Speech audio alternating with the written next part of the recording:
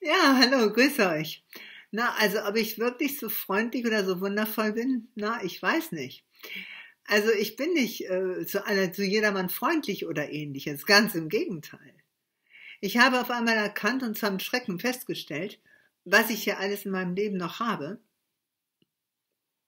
Und das alles geht auf zwei Menschen zurück, denen ich einmal sehr eng verbunden war. Es geht aber eine Denkungsweise zurück.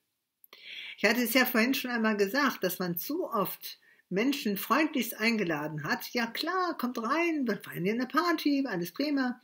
Und die Brüder haben das gar nicht mitbekommen, wenn die Party aus ist und sie nicht wieder nach Hause gehen. Ich habe nichts dagegen, nach einer Party meine Bude wieder aufzuräumen. Aber ich habe was dagegen, dass sie, äh, auch wenn die Party links aus ist, immer noch da bleiben und mir sozusagen immer noch meine Wohnung verderben. Und genau das ist in mir passiert. Und ich bin sehr, sehr oft sehr wütend und auch sehr fünsch. Aber gar, also wütend. Aber ich, äh, ich, ich, ich verkneife es mir durchaus nicht nur, ich, ich, ich tue es auch nicht. Ich mache nicht alle anderen dafür verantwortlich. Aber wer sich nun, wer nun glaubt, Anrecht in meinem Leben zu haben, dessen, deren Energieanteile noch sich in mir, in, meinem, in meiner unmittelbaren Umgebung befinden und sie daraufhin immer wieder bemerkbar machen, Wer daraufhin glaubt, noch ein Recht zu haben, der bekommt aber eine ziemlich, naja, eine ziemlich heftige Macht zu spüren. Mephisto, äh, nee, Quatsch, Faust hat einmal gesagt, das sei eine geballte Teufelsfaust, die sich vergebens tückisch ballt oder sowas. Das sei die kalte Teufelsfaust, die sich vergebens tückisch ballt. Oh, die ballt sich nicht vergebens tückisch. Sie ballt sich aber nicht tückisch. Sie kommt durchaus mit sehr klaren Ansagen. Und sie sagen auch alle genau, was sie wollen. Ich meine, alle feindlichen Kräfte sind, alle, sind, sind durchaus sich hinterrücks. Wir haben nur nicht die richtigen Fragen gestellt. Wenn jemand dir etwas anbieten will, dann frage ihn bitte klipp und klar, was er genau damit meint. Und er wird dir auch eine klare Antwort geben. Und jetzt hängt es von dir ab, ob du das willst oder nicht. Wir haben diese, wir haben unsere, unsere, sagen wir mal, Anhänglichkeit an Verlockungen zu spät gesehen. Wir sehen das, was uns lockt. Wir sehen aber nicht, was dahinter steckt. Und wir machen uns darauf keinen Reim auf unser eigenes Leben, weil die meisten Menschen ihre Entscheidungsgewalt nicht erkennen. Ich nehme mir das Recht heraus, zu Menschen, die mir zu unverschämt sind, die aus meinem Leben zu werfen. Und ihnen auch zu sagen, du weißt du was, du kannst mich da mit deinen, großen Kulleraugen angucken, das beeindruckt mich überhaupt nicht.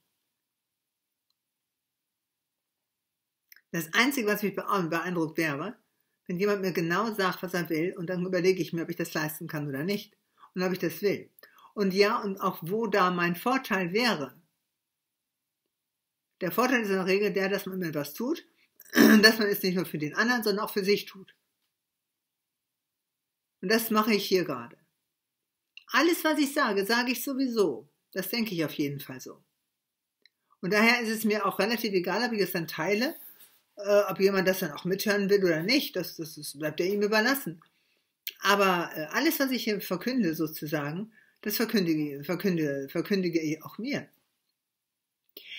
Daher kommt auch dieses, äh, die unbefleckte Empfängnis, über den die Kirche ja so ein wahnsinniges Gewesen macht äh, wenn wir uns das mal genau angucken, was heißt denn unbefleckte Empfängnis? Unbefleckte Empfängnis heißt, ich bekomme etwas klipp und klar serviert, ohne Beiwerk, ohne, ohne, ohne großartige Verzierung und ohne Ausschmückung und ohne Verzerrung. Das heißt das. Und wenn die Bernadette Sobriot damals äh, in Lourdes äh, eine Dame gesehen hat, die so wunderschön war, dann hat sie natürlich ihr höchstes Selbst gesehen.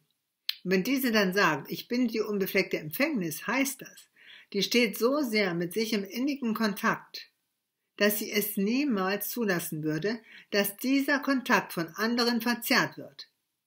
Ihre Botschaft zählt und nichts sonst.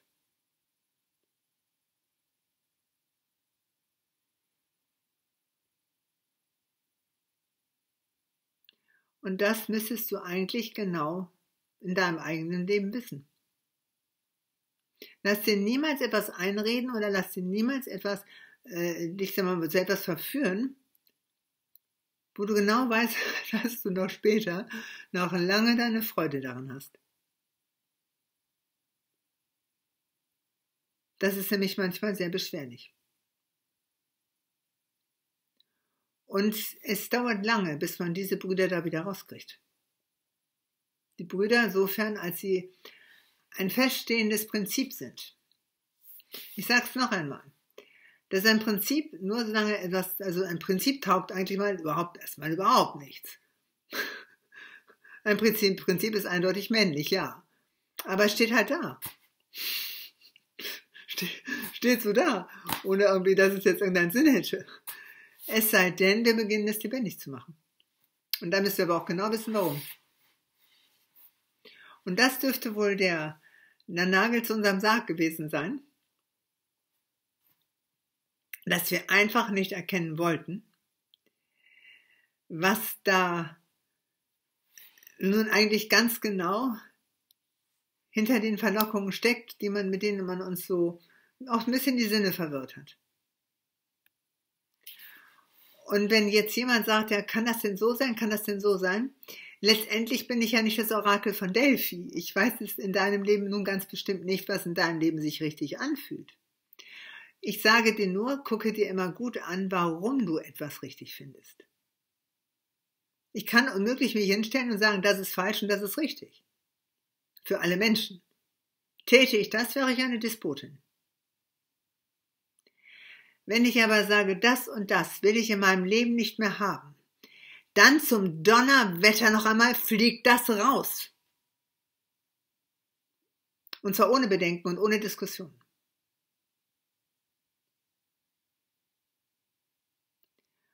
Und wenn es bedeutet, dass ich jemanden, den ich einmal herzlich eingeladen habe, irgendwann einmal rausschmeißen muss, dann tue ich auch das. Allerdings finde ich, gebietet es ein wenig die Fairness, dem zumindest Zeit zu geben. Ich meine, ich kann nicht jemanden freundlich einladen, hundertmal beknien, doch bitte mal zu mir zu kommen. Und wenn er dann kommt, schmeiße ich ihn sofort raus, kaum dass ich ihn gesehen habe. Also so geht's dann auch nicht. Also äh, ich habe ich habe eingeladen, also können sie kommen. Aber dann erkenne ich, das will ich haben, das will ich nicht haben, dann schmeiße ich es wieder raus. Ich handle, ich rede immerhin nicht dann mit Menschen. Weil wenn ich einen Menschen einlade, dann gebietet es die Fairness, ihn reinzulassen und dann zumindest einen Kaffee zu trinken und dann fest, stellt man fest während des Gesprächs, passt oder passt nicht. Aber äh, wenn es sich um Prinzipien handelt, und es handelt sich in meinem Leben immer nur um Prinzipien, dann schmeiße ich aber einige sofort raus. Mit, mit, versteh mich bitte recht, mit einem Prinzip diskutiere ich nicht. Es steht da und will etwas und ich mache es lebendig oder nicht. Und so geht jeder in seinem eigenen Leben vor. Wenn wir das einmal erkannt haben, sind wir klüger. Denn dann verstehst du, dass wenn Menschen sich miteinander streiten, dann, dass sie sich im Grunde genommen darum streiten, welches Prinzip, was der jeweilige Mensch verfolgt, lässt der andere jetzt gelten. Und das ist eine Entscheidungsgewalt. Wenn du dich mit einem Menschen streitest, dann ist es eigentlich relativ überflüssig. Die Frage ist, was denkt er und was denkst du? Geht das zusammen oder auch nicht? Wenn es nicht zusammengeht, dann trennt man sich davon. Und dann hat es keinen Sinn, äh, dann immer zu sagen, ja, wir waren doch immer so glücklich und wenn der andere nicht glücklich war, dann waren die nicht glücklich. Also was soll dieser Unsinn? Ich kann unmöglich glücklich sein, wenn ich einen Menschen unglücklich mache. Denn dann verbietet es, das verbietet sich sofort. Denn die Frage wäre ja, warum ist der Mensch in meiner Nähe? Vertragen sich unsere Prinzipien doch? Ja, dann brauchen wir uns nicht zu streiten. Vertragen sie, es, äh, vertragen sie sich nicht? Ja, dann raus. Du bist immerhin der Bestimmer in deinem eigenen Raum. Und nicht jemand, der alles klaglos und stumm und geduldig über sich ergehen lässt. Das tut übrigens auch ein Gott nicht. Hat eine klare Vorstellung davon, was von, wie er belebt werden will. Und alle, die es wünschen, können dahin. Aber es ist ziemlich idiotisch, einen Gott der Gnade und der Barmherzigkeit anrufen zu wollen und jetzt der Meinung zu sein, alle anderen müssen es auch, wenn ich mit Gnade und Barmherzigkeit überhaupt nichts anfangen kann. Weder von anderen noch von, noch, noch von sonst jemandem. Auch von mir nicht. Ich habe ja schon mal gesagt, ich bin erbarmungslos, was mich angeht. Ich dulde keinen, keinen, keinen Fehler. Wenn etwas in meinem Leben ist, was da nichts zu suchen hat, fliegt das raus. Ohne, ohne irgendwelche Streitereien. Und ohne irgendwelchen Firlefanz. Und da nützt mir auch nichts, dass jemand sagt, du hast es aber 20 Jahre so gut gefunden. Ach ja. Vielleicht hatte ich bloß nicht die Möglichkeit, mich zu wehren. Das war zum Beispiel mein, bei, meinen, bei meinen Eltern war das so. Die haben versucht, ein Denken aufzu oder nahezubringen, was ich überhaupt nicht leiden konnte. Nur als Kind konnte ich ja schlecht was dagegen sagen. Als Kind hatte ich ja die Entscheidungsmöglichkeit nicht. Als erwachsener Mensch schon. Im Grunde genommen ist das ein bisschen hier wie im Deine Klick-Spiel. Das kennst du vielleicht. Wo man dann ein, ein Foto äh, bekommt, aber es ist, ist immer schwarz. Dann wird von dem Foto immer ein, ein kleiner Teil aufgedeckt bis man anschließend erkennt, was es eigentlich wirklich ist. Und dann ist das eben nicht dieser schöne Schmetterling, das ist, die, das, ist das Raubtier oder ein, ein ziemlich, ziemliches Monster von Insekt oder sowas. Aber das wollte man doch eigentlich gar nicht. Und jetzt geht es darum, ob dein Denken dem gleich ist oder nicht. Und ist es ihm gleich? Ist es ihm gleich? Dann musst du akzeptieren, dass es noch in deinem Raum ist, weil dann musst du es auch wirklich umdenken. Das heißt, du musst in deiner Gedankenwelt umschalten. Und wenn du dich dabei ertappst, dass du etwas zulässt, was dich von Anfang an nur genervt hat, dann sei in deinem Kopf wirklich erbarmungslos. Nicht bei den anderen Menschen. Der Mensch kann nichts dazu. Er folgt einem Prinzip, was du in Ordnung findest oder auch nicht. Und dann geht es um die Menschen ja gar nicht mehr. Findest du es in Ordnung, sei dir gleich, dann ist es okay. Findest du es aber nicht in Ordnung, dann schmeiß es raus.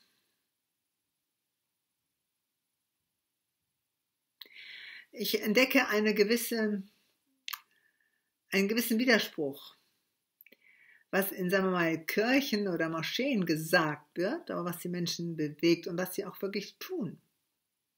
Es funktioniert nicht. Es widerspricht sich.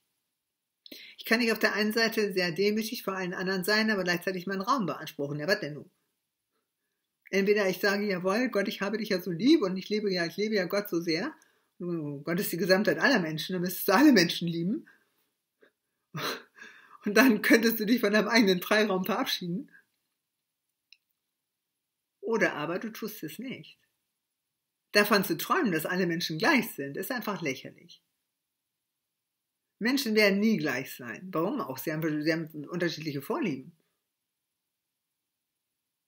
Darum war das ja, was ich vorhin auch gesagt hatte. Als ich sagte, ähm, es ist wirklich wichtig, dass du den Zeitpunkt, wo etwas günstig ist und wo du etwas tun kannst, dass du den nicht versäumst. Aber du musst auch wissen, dass du dich immer für den jeweiligen Zeitpunkt bereit machst, reif machst. Und das obliegt immer dir. Du kannst dann eben mit allen anderen diskutieren, was du wohl bekommst. Du bist doch kein Kind, das einen Zettel an den Weihnachtsmann schreibt.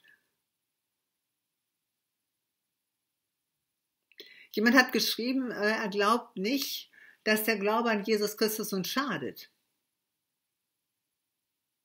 Ach nein? Es kommt darauf an ob du die Wirksamkeit begreifst und ob du das Wesen einer Kristallenergie begreifst, was Jesus ja versucht hatte, den Menschen nahezubringen. Aber das war vor 2000 Jahren etwas schwierig. Es hat sich sehr schwierig gestaltet, wie wir gemerkt haben. Es geht darum, ob du in der Lage bist, ob du in der Lage bist, etwas wegzugeben und ob du dich davon losreißen kannst. Vergebung heißt nicht, ach ja, ich verzeihe dir ja so sehr. Vergebung heißt wegzugeben und wegzugehen. Und nicht auf Teufel komm raus, bei allen gut angeschrieben äh, sein zu wollen. Das bin ich nicht. Ganz bestimmt nicht. Warum sollten die mich mögen?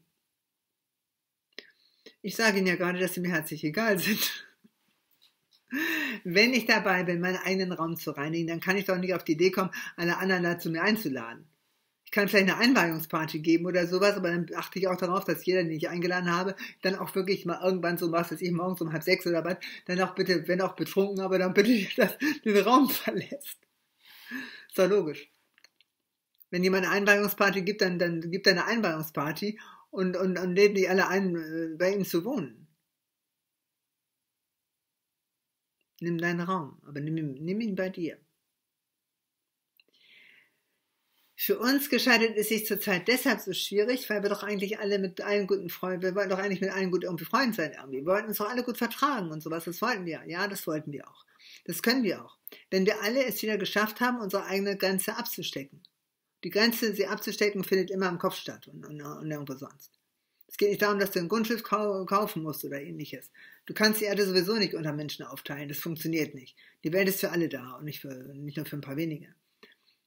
Aber, aber du musst wissen, dass dein eigener Raum, der ist natürlich auf dich beschränkt. Du hast deinen kleinen Raum, den du bis zur Unendlichkeit ausweiten kannst. Dein Reich kann riesengroß sein. Und doch ist es nicht größer als der Raum des Nachbarn. Das ist ähnlich wie bei einer Torte. Ich kann eine Torte in zwei Teile äh, schneiden. Oder nur in einem Stück lassen. Oder ich mache da 43 Teile von. Das kann ich auch machen. Oder 16. Oder 8. Oder ich nehme es in ein Stück. Oder bestücke es mal so, mal so, mal so. Hab da viele kleine Blumen drin. Da muss ich darauf achten, dass die Blumen sich auch wirklich vertragen und sich nicht gegenseitig den Chaos machen. Denn in der Natur beansprucht jeder seinen Raum. Und das tust du auch. Dass wir eigentlich einen unendlichen Raum zur Verfügung haben. Und nur mit den Schwierigkeiten zu kämpfen hatten, bei dem, was wir alles früher mal da reingelassen haben und dass wir aus diesem jetzt raus müssen, dass uns das solche Kopfschmerzen gemacht hat, das haben wir lange Zeit nicht begreifen können. Das haben wir nicht verstanden.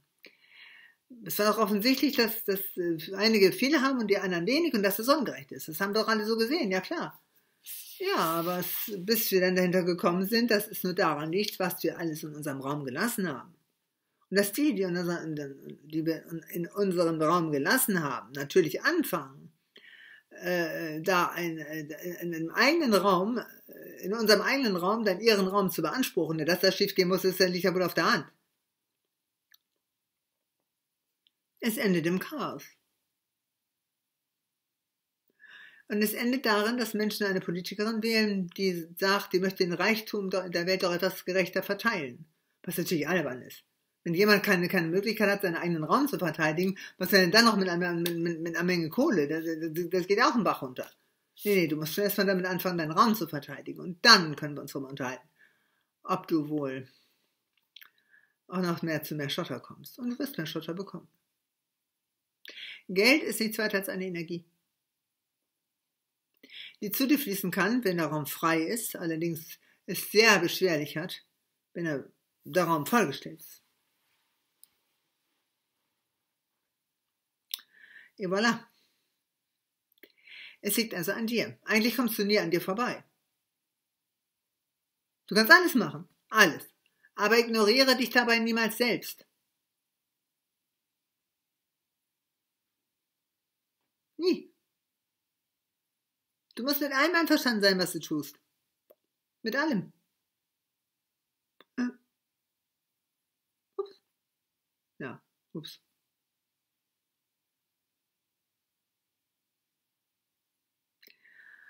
Und ich frage mich, wie viele Menschen das verstehen wollen.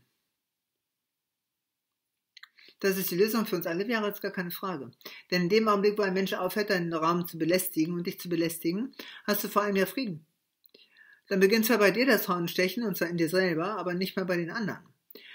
Äh, deshalb wirst du trotzdem noch manchmal die Kontenance verlieren. Du, du gehst manchmal die Wände hoch, das passiert, das passiert mir jeden Tag eigentlich, dass mir immer wieder noch Liebesgrüße von früher entgegenkommen.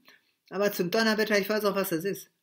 Und ganz bestimmt fange ich dann nicht an, seidenweich äh, mit dem einander zu reden. Und denn da ich gesagt habe, ich dulde in mir selber keine äh, keine Misstöne, kann das bei mir ganz schön zur Kehr gehen.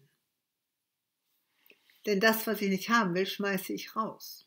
Und wenn ich da hundertmal früher äh, zugehört habe, wenn ich da hundertmal früher mich auf dessen Seite gestellt habe, heute eben nicht mehr. Ich müsste hier gerade aus und äh, äh, da, sind, da fallen ja mir so alte Bücher so in die Hände und äh, eins ist mir in die Hand gefallen, Briefe an den Führer. Und dann äh, wurde, das, das war teilweise, das war schon, ähm, das war schon, das war tragisch. Einer hat gesagt, oh mein geliebter Führer, und der war richtig, der war richtig von Adolf Hitler hin und weg. Aber er selber war Jude. Und sagte, geliebter Führer, ich weiß, du wirst Deutschland wieder zu wahren Größe verhelfen und so weiter. Aber wie so in aller Welt darf ich jetzt nirgendwo mehr mitspielen. Ich bin vom, vom Kegelclub ausgeschossen worden und darf auch nicht mehr äh, irgendeinen Sport betreiben. Ich weiß nicht mehr, was das für einer war. Ich glaube, es war ein Fußballclub oder sowas. Und äh, irgendwelche Körperertüchtigungen durfte, ich, durfte er dann auch nicht mehr machen, obwohl er sportbegeistert war. Und in seine Gastwirtschaft will auch keiner mehr kommen. Äh, kann er dich da, da mal was tun? Jetzt ist sich geklärt, was aus dem Mann geworden ist. Nur, dass er später, zwei Monate später, drei Monate später, nachdem er den Brief geschrieben hat, äh, aus seiner Gastwirtschaft rausgetrieben worden ist. Und seither verliert sich seine Spur. Ich denke, wir können uns alle vorstellen, was aus dem Mann geworden ist. Es ist eine Verkennung der Tatsachen. Wir sehen etwas und meinen, wir machen uns ein Bild davon. Aber uns fehlen einfach die Informationen, weil wir alle immer die Informationen von anderen haben wollen. Die Frage ist doch eher, was ist dir dienlich? Was willst du denn wirklich? Und ganz sicherlich ist es nicht dein, dein, dein, dein, äh, deine wahre Bestimmung, Deutschland oder irgendein anderes Land, Türkei oder Afghanistan, was auch immer, zu einer wahren Größe zu verhelfen zu wollen. Was interessiert dich das Land? Was dich interessiert, ist dein eigener Raum, in dem du ja schließlich leben musst. Mit all den Gesetzen, die du mal gut gefunden hast. In dem du jede Rolle von 1 bis 100 besitzt. Jede. Du kannst niemanden zum, zum Fußabtreter erklären weil du es selber bist. Du kannst niemanden zum König erklären, weil du es selber bist.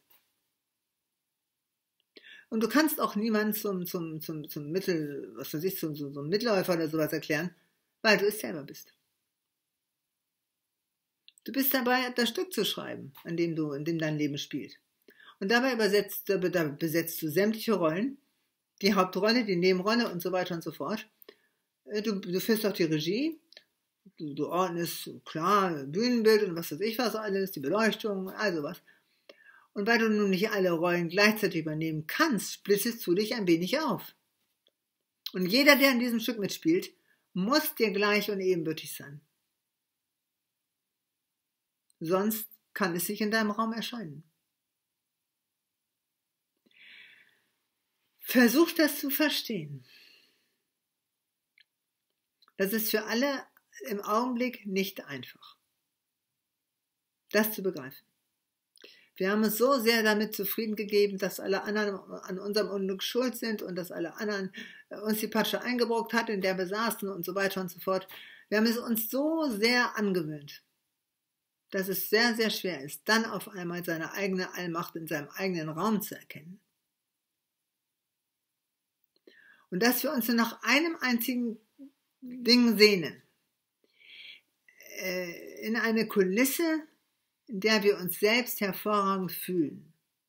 Und wo wir dann so sein können, wie wir eigentlich sein wollen. Und wie du nun sein willst, ja, das weiß ich jetzt nicht, aber ich vermute es mal. Aber meine Vermutungen über dich äh, sind ja nur eigentlich wirklich für die Katz.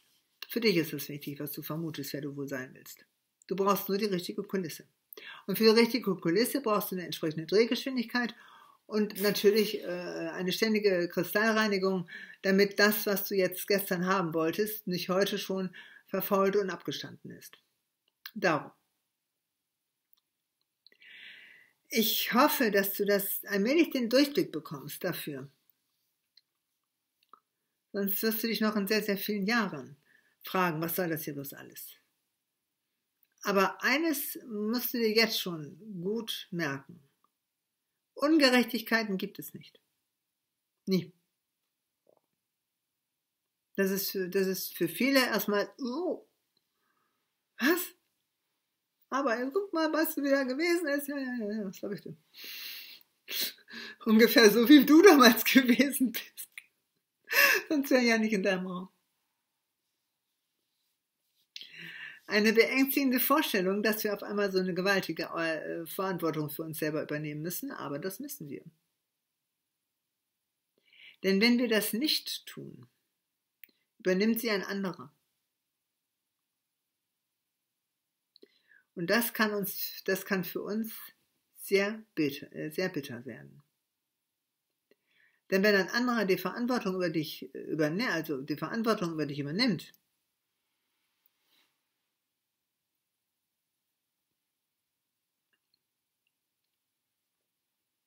wer weiß. Wer weiß, ob es dir wirklich hilft. Und ob du damit einverstanden bist.